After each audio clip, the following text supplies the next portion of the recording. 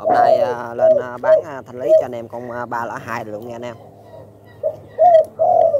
Thì à, thanh lý giá bèo nhèo cho anh em luôn về nghe cái à, hoặc là đổ máy gì đó anh em tùy anh em.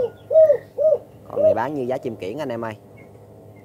Anh em nào thích thì cứ à, alo với mình nha. Thì con này thì mình à, để cho anh em là một triệu rưỡi nha anh em. Anh em ưng alo trực tiếp con này lúc trước thì ờ, hổm mình có đang bán là nói chung cũng hơi cao anh em. Đây mình còn một con cuối cùng. Bán xả hết cho anh em luôn. Con này thì anh em về nghe gáy à, kiển rất là ok nha xiên gáy dữ dằn lắm. Thì uh, giá uh, thì cũng uh, ngang với chim kiển nha anh em không cao hơn chim kiển. Giá bèo nhèo cho anh em anh em được thì alo mình. Con này thì nghe, nghe gáy hoặc là anh em đổ máy. gì ok ha. Này à, ba cốt lõ hai nha. Ba lõ hai.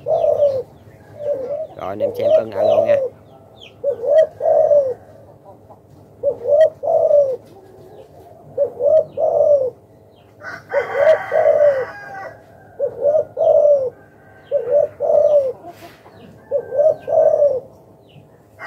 Yeah.